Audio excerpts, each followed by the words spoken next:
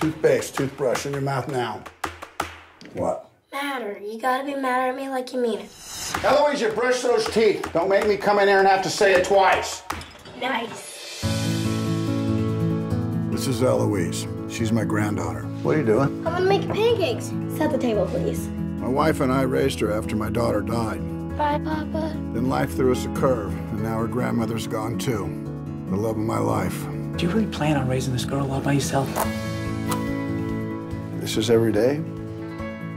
Yep. Do you need to call her other grandmother? Grandma Wee Wee? Yeah. The last person I need around me right now is Grandma Wee Wee.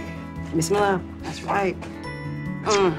You got a plan for Eloise in light of all this? You tied it like a tennis shoe. She's got a whole lot of family down with me. Well, you can always come for a swim. Oh, Lord. Hey, guys! Hey, baby. I'm thinking we need to start talking about a shared custody. Not gonna happen. She has a father. You live in a blind spot when it comes to your son. He's a junkie. And you're a drunk! Okay, thank you. Run on home, fill your bathtub with whiskey, and just soak in it. Have yourself an old drunk man's bubble bath. Got it. Good. This is a little girl's life we're talking about. You know what, Rowena? You petitioned for custody.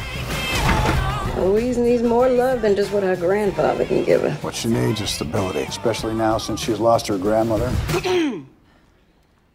One of her grandmothers. That's you, me, and Daddy. You just want her away from us, the black people. I've lost everything. I can't lose her, too. We need to let her know right now she's worth fighting for. Do you dislike black people? Not all of them.